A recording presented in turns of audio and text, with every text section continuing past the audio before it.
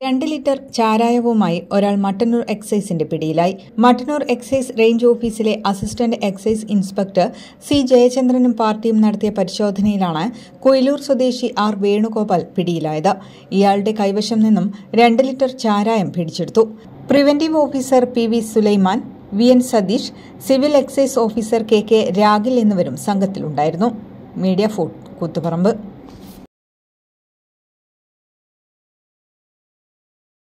Geo sand. ഈ Jio sand ഇത്രയ്ക്ക് മികച്ചതാണോ? പൂഴിമണലിനേക്കാൾ